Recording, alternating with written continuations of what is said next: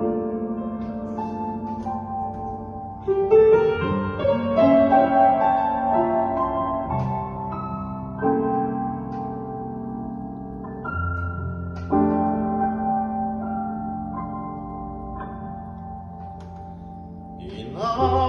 mənə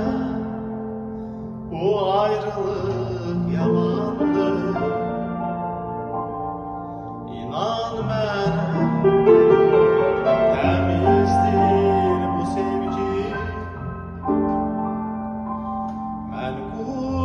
quş